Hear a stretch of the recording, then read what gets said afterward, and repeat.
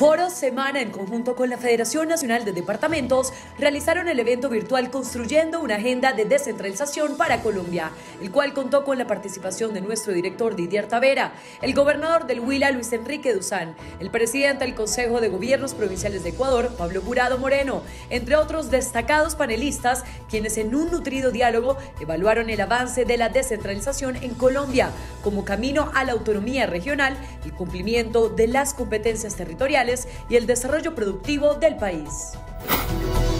La Federación Nacional de Departamentos, el Gobierno Nacional, ASO Capitales y Fede Municipios firmaron el Pacto Territorial por la Seguridad Vial en Colombia, con el fin de sensibilizar y comprometer a los territorios en la implementación del sistema seguro. En este evento, nuestro director Didier Tavera resaltó el trabajo que deben realizar las gobernaciones para que la respuesta en educación y cultura vial tenga una mayor capacidad. Además, resaltó la responsabilidad que se debe tener en la seguridad vial, el respeto por la vida y la prevención de accidentes.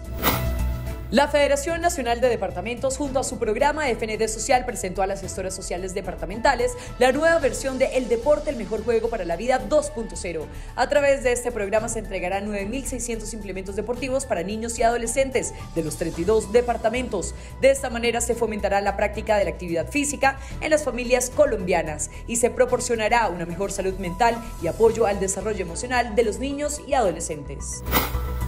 En el marco de la iniciativa El deporte es el mejor juego para la vida, se desarrolló un espacio de diálogo sobre salud mental con el doctor Carlos Arango a través de una transmisión en vivo en las redes sociales de la FND, destacando que la salud mental es la base del bienestar individual y del funcionamiento de la comunidad.